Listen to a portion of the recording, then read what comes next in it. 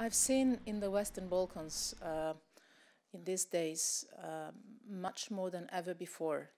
Um, a region exposed to uh, different layers of challenges and tensions. Uh, the Balkans uh, can easily become one of the chessboards uh, where the big um, power game can be played. Uh, so the concern is there, uh, also because this is happening uh, just after a very good year for the Balkans.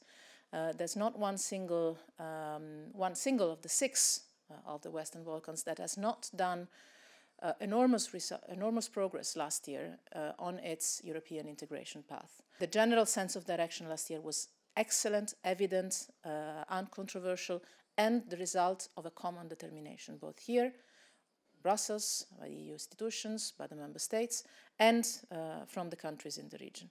Uh, so the concern is there and is profound, but it is also, uh, there is also the confidence that derives from the fact that there is no other uh, power in the world that has so much impact for good on the Western Balkans, and that's the European Union. I'm worried, but also we have all the tools to overcome difficulties and to offer to the people of the Western Balkans the future and the perspective they want.